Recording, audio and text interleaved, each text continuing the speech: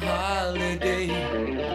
So everybody heads on out to the sun and gets an even suntan the lazy way.